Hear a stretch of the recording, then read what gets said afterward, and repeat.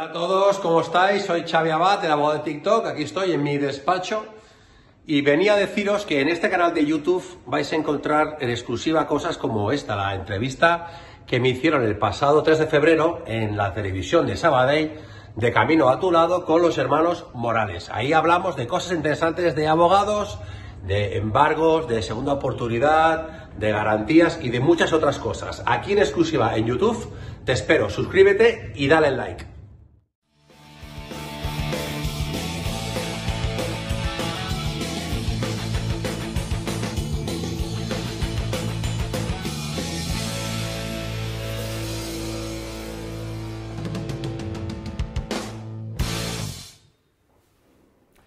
Hola, ¿qué tal? ¿Cómo estamos? Otra semana más con vosotros. La semana pasada estuve confinado, pero ya estoy otra vez aquí, porque mi hermano me echaba un poco de menos y me dijo, José, venga, vente, y esta semana estás aquí con nosotros. Pedro, ¿cómo te ha ido la semana? Pues tengo que decir que, mirad una cosa, hoy es, hoy es un día diferente, porque hoy habemos dos chicos guapos y mi hermano que presenta. Entonces, era muy interesante mi hermano oye, que estaba... oye, pues no sé si me ha hecho gracia eso, Pedro. A mí sí. Bueno, como, la- como la- el otro día eh, te sentiste feo porque te- estamos a menoscabo y tú ya no, ya no eras el, el- el- el de este. Llevamos una semana que hemos tenido a un chico guapo, a un extraterrestre, porque al irme hemos de decir que no era este Hombre. David Marcel, madre mía, es todo poesía. Es Tú todo tampoco, del mismo planeta que mi hermano. Y hoy, pues, nos traemos, una, hoy nos traemos un tema interesante y te voy a decir por qué, José. ¿Por qué? Porque gracias a, gracias a estos consejos, Sí. que no son de cocina, Ajá. la gente puede andar más tranquila por la calle. Sí. Pero, pero, pero, ¿tú, tú crees que un abogado puede perder el juicio? Mira, pues si son dos, uno, uno lo pierde y uno lo gana. Nosotros hemos tenido al que gana siempre. Muy bien, tenemos al, al abogado ganador. Hoy bueno, traemos a un abogado, bueno, que es un abogado que en redes sociales triunfa como nadie. No es porque es guapo, sino porque es bueno. Es bueno en la abogacía y bueno en el derecho. No porque siempre vaya recto. Pero sí que es cierto que tiene más de 20 años de experiencia, tiene más de 700.000 seguidores en las redes sociales. Y bueno, tenemos a Xavi Abad. ¿Qué tal, Xavi? Pues un placer estar aquí con vosotros. También, también para mí. Para Pedro no lo sé, Pedro, para ti es un Para mí, más, mira, me ha sorprendido mucho. Porque ¿sabes qué pasa? Que luego, hablando aquí, que hablamos un poquito de siempre, resulta que los dos han nacido el mismo día. Sí. Somos Pistis, somos Pisti y Dixie, ¿no? Pisi y Dixie, los dos solo Pisi y Dixie, yo soy el gato. Pisi y Dixie y el gato. Y aunque parezca mentira, quiero decir que Xavi, que es una persona que en su tema es un, es un tema que triunfa y, y lo gana todo, es una persona que, que- que en- que dentro del ambiente es un chico muy simpático, que no me lo esperaba tanto como ahora. Tenemos- nos, nos- nos debemos eh, hacer un, cosas en TikTok, una cosa muy bonita. ¿Sí? ¿Vas a hacer? Sí. Vale, perfecto. Lo haremos luego, pero al final, Al final, a última hora. para que luego lo podáis ver por ahí. Pues, Xavi, eh, ¿cómo, ¿cómo entra un abogado como tú en una red social? Mira, me gusta que me hagas esta pregunta porque nunca me la han hecho hasta ahora. a ver, sí, sí, no, es, es lo típico, ¿no? Que es que te preguntas. A ver, se me hago la anécdota que yo hace un año y medio odiaba el TikTok y todo esto. Mi hija tenía el musical y de entonces y le decía, quita el móvil ya, to- to- tonterías y bailes y... Y nada, tenía un cliente, eh, Marsal Ventura, de jockey, amigo mío, y entonces le hice un, un juicio, un procedimiento, quedó contento y me dijo, te voy a dar algo que te va a cambiar la vida. Y eso que típica frase solemne que piensas tontería, ¿no? Pero no, me, me cambió la vida. El tío me dice, métete en TikTok. Y digo, ¿qué en TikTok? Si acabo de decir a mi hija que deje el móvil. Y, bueno, y que sí, que tienes que probar, que el sector de, contenido de educación está en auge y tal. Bueno, entonces estuve investigando un poco, hice mi análisis DAFO, miré vídeos, cómo hacerlo, estuve estudiando el procedimiento y, y a de una semana de que mi amigo Marsal Ventura me insistiera en que me metiera en TikTok, me metí en TikTok. Empecé a publicar un miércoles y el domingo ya tenía 10.000 seguidores. Y a partir de aquí ya fue, ya fue más, más fácil, ¿no? Pedro, que soy te- seguidores más rápido que tú. Este es más rápido que yo. Una cosa, sí, pero te voy a decir una cosa, ¿sabes por qué? ¿Tú te has dado cuenta cómo los hace? Los hace súper alegres. Mira, otro yo te vi incluso, los haces como, como súper activos, que haces como ya, ah, te mueves, haces gimnasia, haces de Pedro, todo. pues si copia tu baile, ya, ya te- va a triunfar en las redes. Si lo que va a triunfar. Y, y lo que más me gusta, que toca temas que la gente los tiene un poquito como de lado, que parece que no son importantes y sí que lo son.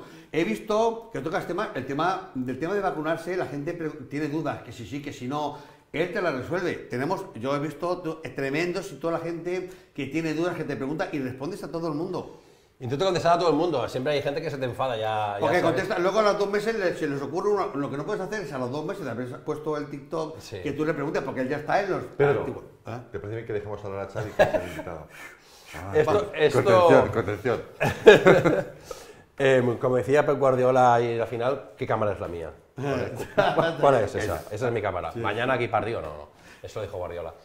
A ver, eso es lo más chungo que llevo, porque soy una persona que cuando pienso que me, soy muy empático, eso es un problema y todo que tengo, y, y me pongo la piel del demás, que que la persona contraria que está un rato haciendo un mensaje, pienso, coño, esa persona ha perdido un tiempo, yo también, pero al principio me estaba cada día hasta las 12 o 1 de la noche contestando todos los mensajes, porque pensaba, pobre hombre, pero mi mujer me dijo, o, o el TikTok o yo, ¿sabes? Porque claro, estaba en la una de la cama enviando mensajes, entonces ya casi contesto a todo el mundo, ese, es- ese es el problema, pero a todo el mundo no puedes contestar, y la gente si piensa esto, que haces un vídeo y, y quiere, y aparte la gente te exige, hazme un vídeo de esto, contéstame lo otro, Hombre, Eso- hago lo que puedo, ¿no? Xavi, eso dijo mi mujer, el TikTok o yo. Ya, Y sigues en TikTok, Sí, ¿no? pero he perdido seguidores, he perdido, pero estoy, estoy contento. Claro, perdió a su mujer. Perdió a su mujer que la seguía. Pero bueno, intento contestar a todo el mundo Claro. y, y tal. Y lo de las vacunas, yo, yo os contesto lo que queráis, pero es, es otra cosa que también me tiene ferito porque, ¿os habéis fijado? Es que a mí esto me da, yo soy muy cachondo, ¿me veis? Pero a mí esto me da un poco de pena. Hay como dos bandos, ¿no? Los antivacunas, súper radicales, y los que, no, no, o te vacunas o, o eres un mal ciudadano, ¿no? Bueno, esto pasa como que eh, o, o eres facha o no eres facha, ¿no? Algo así, exacto. Sí, o estás- Exacto. depende cómo viste, depende cómo... ¡Ah, facha! Eh, así, mueves ahí en ese punto que no sabes... hice un vídeo de esto, de que digo, que está, yo creo que lo, que lo hago, debo de hacerlo bien porque me han llamado super facha. Me han llamado el abogado de los progres. Me han llamado el independentista. Me han llamado super facha. o sea, yo, yo qué sé, si hagas lo que hagas, si hablas de bien de la Guardia Civil, eres un facha. Si criticas una actuación de la Guardia Civil, eres un mal español. O sea, pero bueno, Y si sales trabajadores de ciudadanos. El otro día que fui a un, que fui a un parking, fui a un parking, me acordé de ti porque me dice, uno aparca allí, digo, este ha visto el TikTok de Xavi Abad. Hablabas de un parking que se podía aparcar, Sí. ese tema, gente, esa gente, ese tema la gente no lo sabe, pero hay, hay temas tan, tan que son, tienen tanta laguna, ya, ya- tanta... ya me veo yo en mi parking poniendo una cadena para que no pase un coche. hombre, eso ya necesitas permiso, ¿no? De la, de la eres como el profesor de, o sea, eres como el libro este que la gente saca las dudas que tiene y se pone a No, mirar eres los eres como un abogado sindicalista. Hostia, no. Dices, ¿cómo vamos a darle por culo a alguien? Espérate, que voy a mirar la ley y vamos a tocar esa ley. Yo lo que me extraña es que tenga tantos seguidores, porque como me he metido con todos los sectores, o sea, si tengo que hacer un vídeo de una mala actuación de un vigilante de seguridad, meto caña. Y todo, todo, esto, todo el colectivo de vigilantes de seguridad en contra mía, que, que yo conozco, tengo amigos íntimos que lo son.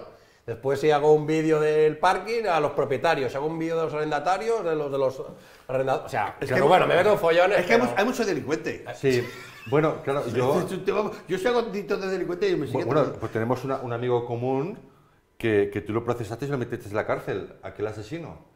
Claro, que es broma, que no, no, no hagáis caso, no hagáis caso. Pero una cosa, temas interesantes que son, para mí, son muy importantes y no los toca casi nadie, o no, son, la gente, los abogados tocan temas que, que les repercute económicamente en el bolsillo. Y tú tocas temas que, que están ahí en el mundo, que la gente no los tiene en aprecio, pero que tú sí que los tocas. Y eso es lo que, por eso hace que tú tengas tantos seguidores. Bueno, yo intento hacer un poco de todo. Yo cuando empecé en TikTok, eh, te cuento una anécdota, eh, pensaba, bueno, como es una red muy joven, pues voy a hacer vídeos más para chavales. Y mis primeros vídeos van muy enfocados a, a gente más joven, ¿no? En plan, te pueden quitar el móvil en clase, ¿sabes? Y pensaba, va, este vídeo me voy a salir. Y ahora sí que me salgo, para ser más conocido, pero al principio esos vídeos quedaban ahí. Pero después cuando me enfoqué más a problemas de, de nuestro sector, mi sector que más me sigue es de 25 a 55 años, que así lo veo segmentado en mis estadísticas de TikTok e Instagram, eh, es cuando, entre comillas, más triunfo. Cuando te piensas que la red, lo que hablamos al principio, solo para chavales, diversión y tontería, pero la gente, y eso me encanta, va a la red para, para no, no solo para divertirse, sino también para tener conocimiento para aprender sus derechos. Y hablo de temas de familia o hablo de temas penales, hablo un poco de todo para dar un poco de una olla grande. ¿sabes? Porque ha- ahora ha cambiado el tema de la ley de las mascotas, ¿no? Sí, ha habido una reforma de la ley de enjuiciamiento civil y el Código Civil sobre algunos artículos sobre la ley de las mascotas, sí. Y ahora una mascota, ¿cómo se considera? Un ser sintiente. Es ya no es una cosa. Antiguamente, hasta, hace, hasta esta reforma, hasta el 5 de enero de este año, una mascota era una cosa. La podías hipotecar, embargar, y entonces, claro, las consecuencias... Que me, que me lo has dado hundido. El ratoncito Pérez no es sin dientes, es sintiente. Porque me lo dice el ratoncito Pérez tiene dientes. No, es sintiente. Sintiente, No sin dientes. El ratoncito Pérez sabéis que tiene el de todos y no tiene ninguno. Es sintiente. José. Sintiente. Que miremos discutiendo en el coche si era sin dientes o sin dientes. Eh, sin Entonces, dientes. ¿una mascota se, se considera de ámbito familiar ahora? Bueno, eh, no, a ver, esto lo- cuando hice un vídeo que ha sido muy viral, ¿no? Eh, de un millón de reproducciones, de que yo, la intervención que hago, tengo un vídeo en Instagram TV, no que hace propaganda, ¿no? Pero de que de eh, tres minutos que lo desarrollo, que explico de que entiendo que ahora no te podría desahuciar por tener una mascota e incumplir el contrato de arrendamiento que prohíbe tener mascotas. Porque entiendo, bueno, le explico en el vídeo, me, re- me remito ahí. Entonces, claro, lo que sí que no es verdad es que la gente dice, ¡hala, pues ahora ya tengo tres perros, pues soy familia numerosa, pido una ayuda. Hombre, digo, tampoco te pases. Y hace un, una historia o un vídeo y dice, no, no te pases, porque tener un perro tampoco te da las ayudas del Estado ni... Bueno, bueno, pero a- a- hablando de esto, el cambio de, del cambio de género, ¿no? Que ahora Sí. es muy rápido, ¿no? Cambiar de género. Bueno, Si yo ahora me peleo sí, a partir contigo, de 16 años, con la autoasignación de género por la reforma que ha habido, sí. yo ahora me convierto en chica, me peleo contigo, te denuncio, digo, esto- estamos enamorados y es violencia de género. Teóricamente sí, me, me podían meter al trullo por... Y luego, tú dices eso. y luego me cambio de género y vuelvo a ser otro chico. Pues sí. Cuando sale imputado. Sí. Oye, una cosa, y la- mi- mi- ahora que hay tanta la gente que abusa tanto con los contratos, la gente hace, se inventa contratos y se inventa cláusulas que van contra uno. Todas esas, todo eso que la gente se inventa, porque está clásico típico de toda la vida, y luego la gente se inventa una pillo. cláusula, la, la 15 o la 16 o la 25, que está al fondo, que es la que dice que si no me haces caso, ah, pasará esto. Todo eso se puede, eso, eso es legal, se puede hacer. Todas estas cosas que la gente ahora, hacemos una cláusula. Por ejemplo, mi hermano, para venir yo aquí, dice, si habla mucho, me Pero pagas es, tanto. es que no paras de hablar, perdón. Pero que montón. tengo aquí el abogado, ¿eh? Entonces, eso es, eso es cláusulas abusivas, todo se puede recurrir. Sí, a ver, la, la ley, el Código Civil, que es la que rige todo tipo de, de contratos, libertad de- hay dos cosas importantes a saber. Una, que hay libertad de pactos, ¿vale? Y un contrato es ley entre partes, dice el Código Civil. Y también que tú puedes poner las cláusulas que quieras, como hemos dicho, libertad de pactos, siempre que no vayan contra de la ley, del orden y de la moral y, no- y- y de terceros. Es decir, podemos hacer un pacto que diga, exacto, que diga, Pedro no puede hablar más de ocho minutos, si no va a pagar, nos va a invitar a, menos. a una mariscada, como has dicho que nos, que nos invitarías al principio, ¿te acuerdas? Exacto, calladito Pues- ya. pues entonces, si haces esto, sí, porque eso no afecta a la ley ni a moral. Al cambio, es una cláusula que pone que si hablas mucho, Pedro se, se tendrá que sacar el no sé qué, entonces, bueno, eso afecta a la moral, al orden público, eso sería ilegal. Aparte, la- es- esto lo ha dicho y yo como soy eh, oyente, es un contrato verbal, ¿no? Exacto, como eres, Exacto. como eres testículo, testículo, pues... Claro, importante, testículo derecho e izquierdo. todo lo que se habla por WhatsApp es ley. Si tú y yo eh, hablo, es ley. O sea, que sepáis que si un día, por ejemplo, mi hermano me dice, yo llegues tarde, llego tarde, si hemos llegado a un pacto, eso, eso va, a- todo lo que se escribe en el WhatsApp, sepáis que eso es... Totalmente. Es, eh, la gente menosprecia eh, las ofertas vinculantes, que eso es algo que explico en los vídeos. Tú vas al MediaMarkt y dicen, oferta tal, si no está, tú vas a exigirla. Un WhatsApp te dicen, oye Pedro, que al día que te vea te doy mi reloj porque me caes muy bien. Cuando te veo digo, hostia, me tiro para atrás, no. Lo pone en, en el WhatsApp, es una oferta vinculante. Esa oferta que dice, perdón, ahora yo, José, esa oferta que dice, por ejemplo, oferta 24 horas, que es 24 horas, desde, por ejemplo, 24 horas, por ejemplo, unos a las 9, otros a las 10, por ejemplo, de 10 de la mañana a 10 de la mañana siguiente, cuando pone 24 horas, que no está bien explicado, tu oferta dura 24 horas desde que la compras. ¿Depende de la hora que compras o depende de la hora que abre el establecimiento? Todas esas cosas son importantes. A ver, eh, tenemos que ver el caso concreto. Yo entiendo que si una tienda dijera o, o, digo, pero 24 horas, 24 horas desde la emisión de la, de la oferta. Eso es una oferta vinculante importante. Hay la ley de, de competencia desleal que regula todo esto y publicidad engañosa y podemos exigir. Yo algo que explico a mis amigos, algún vídeo, es esto de que, y a mí me ha pasado, ¿eh? Dirá lo que hacía la, la, la anécdota de ir al MediaMarkt y ves USB ahora 23 y vas a pagarlo, te dicen, no, 45. ¿Cómo que 45? Ponía 23. No, señor, pero Era el letrero ahora. está mal. Era no, ahora. no, te dicen, el letrero está mal o no me lo han cambiado. Digo, a mí me es igual. Ahí lo pone y yo me he puesto un poco tonto y acabas pagando 23. Que, que hable de mi hermano que al final nos va, Bueno, nos va a echar, mal- que, que es firma contrato, menos paga la mariscada. mal. Primero paga la mariscada. Si, no, iba a finalizar el programa. una cosa, Xavi. eh, los reconocimientos de deuda. ¿Cuándo, ¿cuándo caduca una deuda? A ver, eh, el tema de la deuda es un poco largo porque aparte de una reforma que modificó los plazos de, de prescripción en el 2015 con unos mm, periodos transitorios, pero así en resumen, aparte es diferente aquí en Cataluña que el resto de, de Cataluña, eh, una deuda en términos generales son cinco años las deudas, pero por ejemplo pensión de alimentos son tres, para Hacienda Social son Sí, cuatro. pero por ejemplo, lo que ocurre ahora, ¿no? Ahora yo, conmigo. yo le dejo a Pedro dinero, mil euros. Sí, Y entonces yo, yo le firmo, él me firma reconocimiento de deuda, sí. ¿no?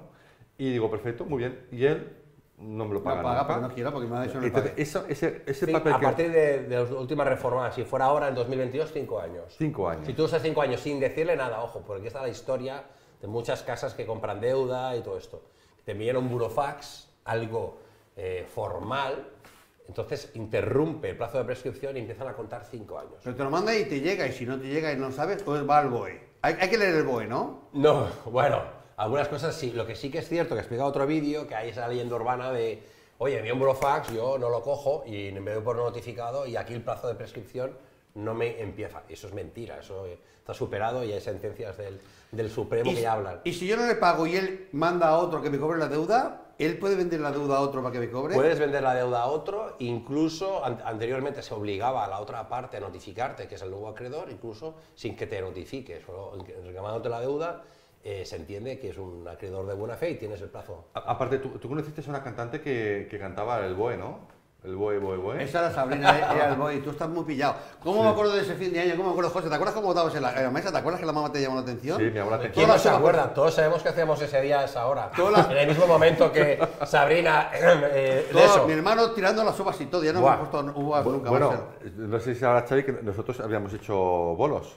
¿Ah, sí? Sí, estuvimos- Bolos de... Bolos, de no, bolos de cantar. Éramos cantantes. De- de cantar. él, era, bolera. él era el que estaba al fondo, de relleno. Yo era, él era como la- lo que se pone ahora de cartel verde, para que me han decorado. Él era el decorado. Yo, era- yo era decorado y era el, el Yo era- cantante. yo era el cantante. El cantante. Canta algo, Pedro, que se acojone.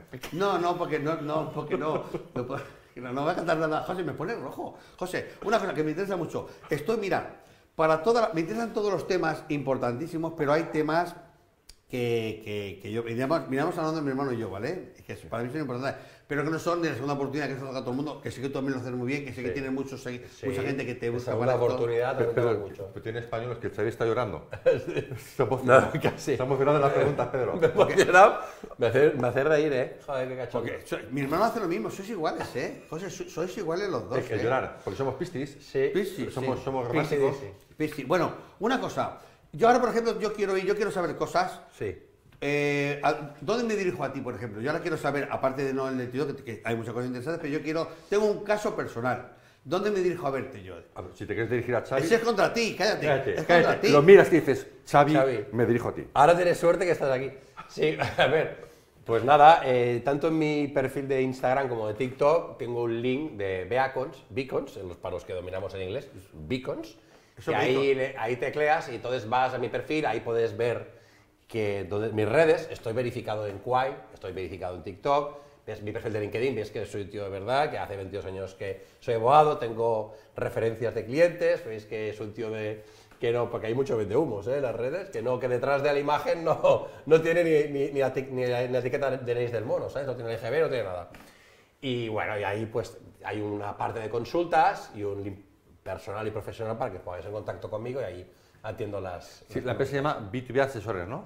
Exacto, yo hace siete años ya monté una, una, una SL de servicios jurídicos eh, que se llama B2B, asesores o B2B para los anglosajones como tú.